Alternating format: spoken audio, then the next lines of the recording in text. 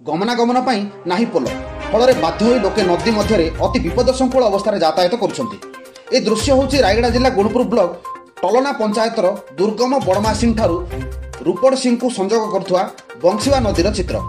କଳକଳ ନାଦ କରି ପଥୁରିଆ ଶଯ୍ୟାରେ ପ୍ରବାହିତ ହେଉଛି ପାହାଡ଼ି ନଈ। ସ୍ରୋତ ଯେତିକି ପ୍ରଖର ନଦୀ ଶଯ୍ୟା ପଥୁରିଆ ଓ ଦନ୍ତୁରିତ। ପୋଲ ନଥିବାରୁ ଚାଳିଶ ବର୍ଷ ଧରି ଏମିତି ଦୟନୀୟ ଅବସ୍ଥାରେ ଜୀବନକୁ ବାଜି ଲଗାଇ ପାର ହେଉଛନ୍ତି ଏଠାକାର ଲୋକେ। ନଈ ଅପର ପାର୍ଶ୍ୱରେ ଭୀମପୁର ଘନାନ୍ତ୍ରୀ ଟିଟିମିରି ଭଳି ପଞ୍ଚାୟତ ରହିଥିବା ବେଳେ ଅନ୍ୟ ପାର୍ଶ୍ୱରେ ଟଲନା ପୁଟାସିଂ ଜଲାତାର ଶଗଡ଼ା ଭଳି ପଞ୍ଚାୟତ ରହିଛି।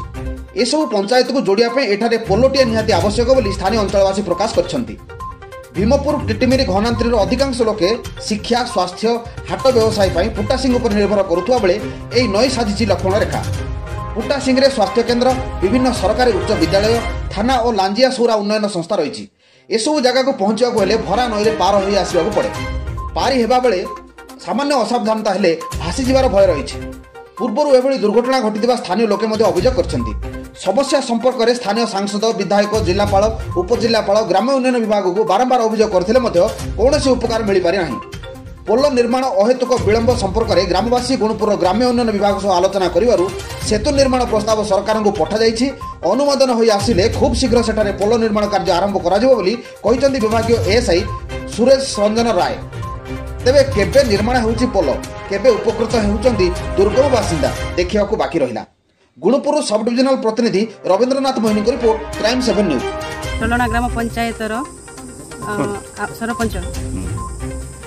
আজ আসবার উদ্দেশ্য হল আমার টলনা ঝিপির সমস্যা বহু গুড়াই রয়ে যাই যেটা কি মেন সমস্যা অছি আমার বাংসি বা বড়ংসিং ঠারে নূতন ব্রিজ নির্মাণ হওয়া নিমন্তে বহু বর্ষ হল দাবিপত্র হয়েকি সরকার পদক্ষেপ আজ পর্যন্ত হয়ে না তা বাদে আমার আরেডুল স্বর্গী সিং স্বর্গা সিং গ্রামঠারে লোক বহু সম্মুখীন হচ্ছেন সে জননী মা মানে যে মা মানে যেটা গর্ভবতী হয়ে ঘরে থাই ডেলিভারি করে পারুচ্ছেন সেমানে যে রাস্তা সমস্যা পাই সেমানে মেডিকাল যাই ডেলিভারি করে পারুনা তো রোগ লোক পীড়িত থিলে মধ্যে সেমানকর সুরক্ষা পাই বি মেডিকাল যা আসবা পাই সেমানকর রাস্তা বহুত সম্মুখীন হইতিবার সেমানকর বহুত দুঃখরে ভোগুছন্তি চন্নাজিপি আর দীর্ঘদিন হল আমার বড়ং সিং ଜିପି ଆଉ ଦୀର୍ଘ ଦିନ ହେଲା ଆମର ବଡ଼ଙ୍ଗସିଂ ଗ୍ରାମର ବଡ଼ଙ୍ଗସିଂ ଠାରୁ ଜୁମ୍ପାପୁର ରାସ୍ତାର ମଝିରେ ବାଂଶୀବା ନଦୀ ଠାରେ ଆମେ ବ୍ରିଜ୍ ନି- ନିର୍ମାଣ ପାଇଁ ବହୁତ ଥର ଦାବି କରିକି ଆସୁଛୁ ବର୍ତ୍ତମାନକୁ ଦଶ ବର୍ଷ ହେଲାଣି ଆମେ ଚେଷ୍ଟା କରିକି ଆସୁଛୁ ଆଉ ବିଭିନ୍ନ ଏମ୍ଏଲ୍ଏଙ୍କୁ ବି ଏମ୍ପିଙ୍କୁ ବି ଦେଲୁ ବର୍ତ୍ତମାନ ବି ଏକ୍ଜିକ୍ୟୁଟିଭ୍ ଇଞ୍ଜିନିୟରଙ୍କୁ କହିଲୁ ଦେଲୁ ଆଉ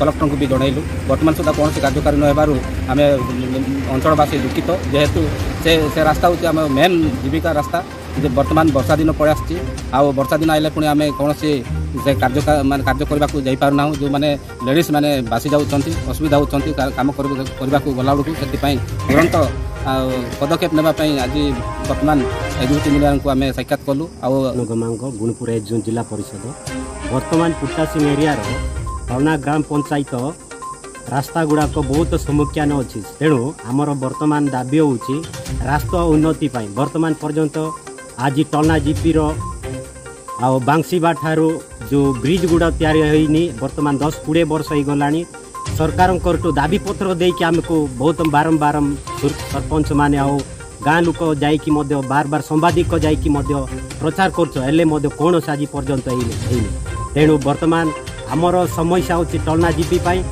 ଆଉ ଆର୍ଡି ରାସ୍ତାଠାରୁ ଥର୍ଗି ସିଂ ଆରେଡୁଲ ଏ ସମସ୍ୟା ଏବଂ ବଡ଼ଙ୍ଗ ସିଂ ବାଂଶୀବାଟାରେ ଝୁମ୍ପାପୁର ଯିବା ବ୍ରିଜ୍ ସେଟା ଗୋଟେ ସମସ୍ୟା ରହିଯାଇଛି ଏବଂ ଏବେ ଆମେ ସରପଞ୍ଚ ମହାଶୟ ବି ଏବେ ଆସିଥିଲେ ଆମ ଅଫିସକି। ସେ ବି ଏ ବ୍ରିଜ୍ ବିଷୟରେ କିଛି ଲୋକଙ୍କୁ ଧରିକି ଆଜି ଆସିକି ଆଲୋଚନା କରିଥିଲେ ଆମ ସହିତ। ଆମେ ବି ଏଇଟାକୁ ଗମ୍ଭୀରତାର ସହିତ ଆଲୋଚନାକୁ ନେଇଛୁ। ଆଉ ଇଏର ପ୍ରପୋଜାଲ୍ ବି ଆମେ ଗଭର୍ଣ୍ଣମେଣ୍ଟକୁ ପଠାଇଛୁ ଥ୍ରୁ କଲେକ୍ଟର ଆଉ ଏମ୍ ଏଲ୍ ଏ ମହାଶୟଙ୍କ ସହିତ ବି ଆଲୋଚନା କରିଛୁ।